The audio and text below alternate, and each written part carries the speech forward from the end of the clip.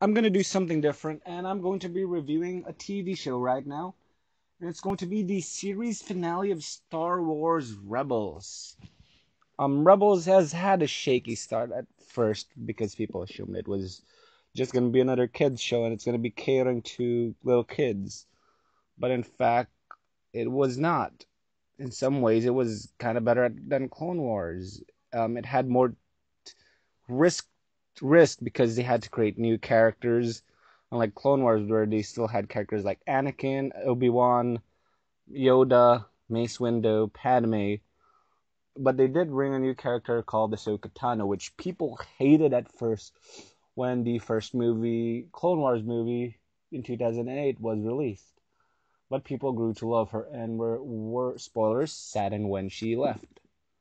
Now, this I'm gonna be spoiling the episode quite a bit since I can't really talk about it much if I don't spoil. So I'm gonna give a general thoughts before.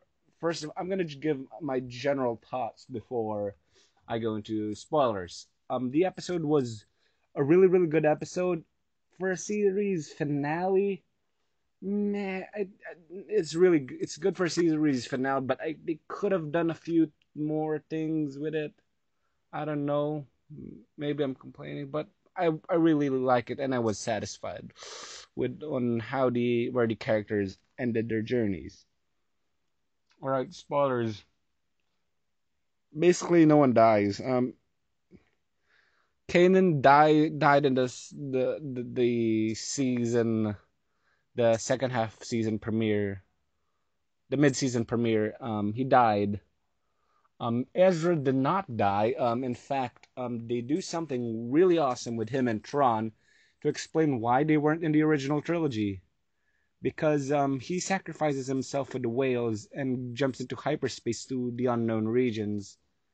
And that basically means why explains why he's absent. And in the end, Sabine and Ahsoka, yes, Ahsoka Tano outlived Darth Vader.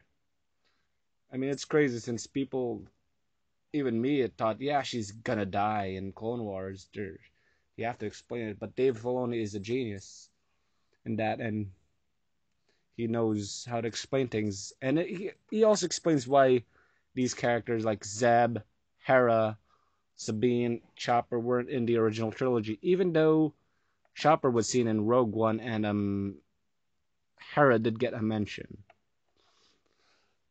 Um, it explains like they were in Lothal preparing for the Empire attack, but um, the Empire attack never came, so they were like based there. Um, they did mention that Rex and um, Hera were in the Battle of Endor. Agent Kallus and um, Zeb showed to Zeb's family, so that's their finality. Um, I like how Ezra ended where Ezra and Thrawn ended up, since they didn't just kill him for the sake of killing him because he's not in the original trilogy. They do give a justified answer. The episode was mostly uh, it was intense. There was no room to breathe. Um, it was really fast paced. Um, good action.